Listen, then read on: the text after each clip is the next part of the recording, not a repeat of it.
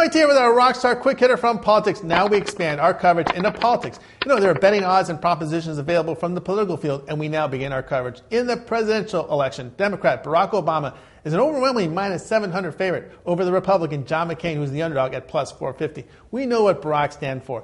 The Barack Obama tax plan needs a little more explanation. Obama is about cutting taxes of those making less than 250,000 a year. That's 95% of the Americans.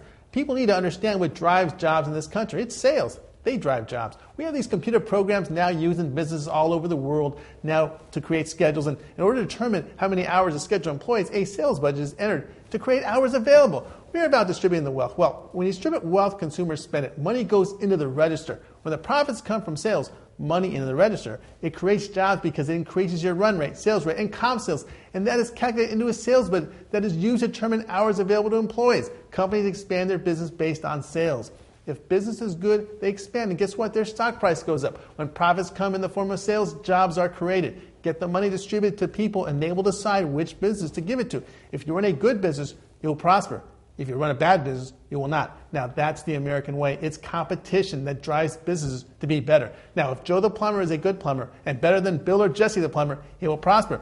But if Joe the plumber is not good to his customers or can't fix that leaky faucet right, he will not make it. Now, if you own a restaurant and your business is down 40% and you have fallen below 250,000 in profits a year, what do you want?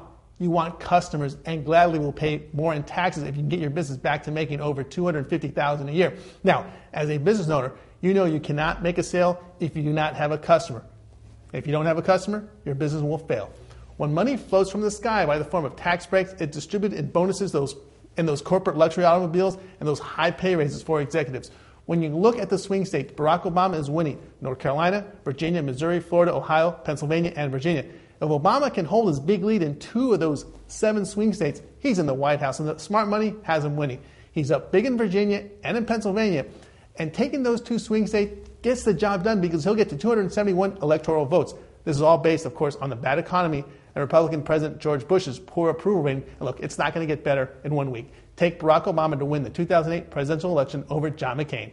For sports and positive coverage with the Vegas style, keep your browser aimed at gamblerstelevision.com.